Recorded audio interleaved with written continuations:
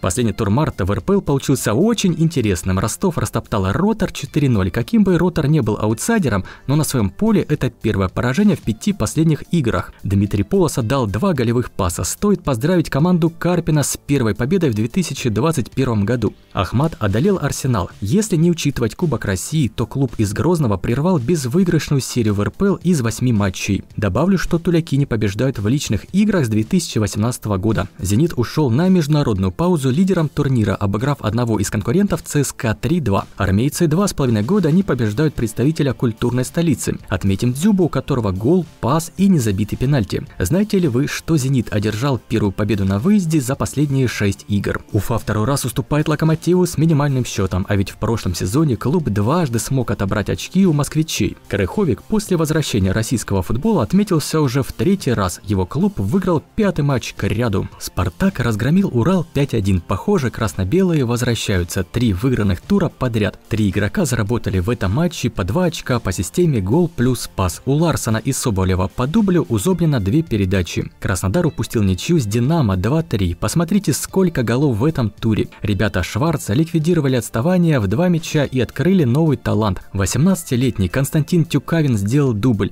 Если учесть и товарищеские игры, у него в текущем году уже 8 мячей. Бедный Краснодар не выигрывает у «Динамо» с 2018 года 5 встреч. Сочи добился победы над Тамбовом, для которого это стало 16 поражение в текущем сезоне. Добавлю, что клуб не побеждает в чемпионате или в Кубке России с октября 5 месяцев с учетом паузы. Я думаю, что многие ждут голов Антона Заболотного. Форвард отметился в седьмой раз в РПЛ и превзошел свое достижение прошлого сезона. Рубин остановил свою беспроигрышную серию на отметке 5 туров. На 23-й игровой неделе подопечные Слуцкого уступили Химкам. Кто бы мог подумать, что их соперник, подмосковный клуб Химки, не проигрывает в чемпионате стороны уже 10 матчей. Фиксируем 11-й мяч Джорджа Деспотовича, также гол плюс 2 паса Резвана Мирзова. Следующий тур пройдет с 3 по 5 апреля. Ротор откроет программу с Локомотивом, Рубин примет Сочи, Краснодар Ахмат, Динамо Уфа. В воскресенье Урал Арсенал, Тамбов ЦСКА и Ростов Спартак. В понедельник Зенит проведет встречу с Химками. Интересно, продлит ли подмосковный клуб свою грандиозную серию? Лучшие бомбардиры Азмун Дзюба 13 мячей, 2 мяча забил в туре Ларсон, в итоге у него в сумме 12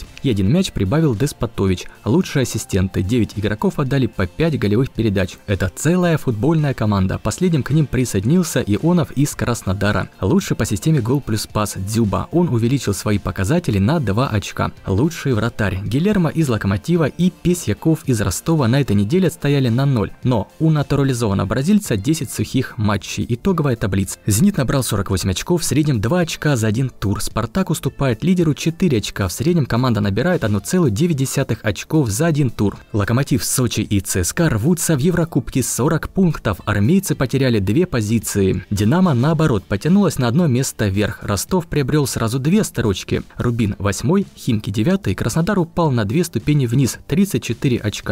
Ахмат 11, Урал 12. В зоне переходных матчей по-прежнему Ротор и Арсенал. В зоне ФНЛ Уфа и Тамбов. Арсенал и Тамбов пропустили больше всех мячей. Надеюсь, информация была полезной. Сейчас переходите к рейтингу УЕФА. Не прощаемся.